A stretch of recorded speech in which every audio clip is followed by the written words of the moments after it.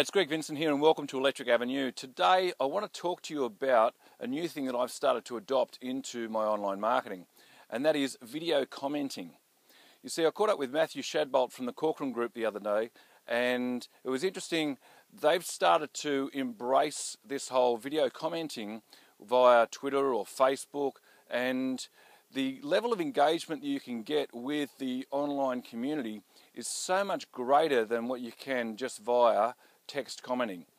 And to give you an example of this, it was interesting. I actually posted up a message on Facebook uh, to say that I'm caught up with a fantastic real estate marketer who was Matthew Shadbolt, and I was going to be using this really effective time saving tool.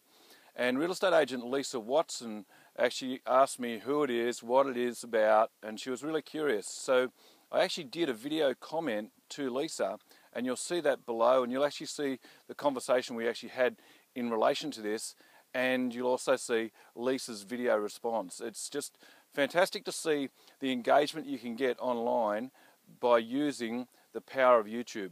The other good thing about using YouTube and using your mobile devices to record these things is that you could quite easily record a video and if you've got the mobile number of the client you could then MMS that video across to them as well as if you upload it onto YouTube it then gives you an opportunity to email it to them or upload it onto Facebook, Twitter, you know, that type of thing. So fantastic tool. I'm really getting a lot out of just starting to do this now.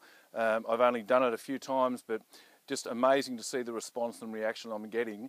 And I really see that this is a great opportunity for agents just to step out of their comfort zone, jump in front of the camera, do some video, and then what you'll find is by video commenting, you'll then have that authenticity coming through, resonating with your clients, but also you'll get more and more confident about jumping in front of the camera so that you can do more and more video content.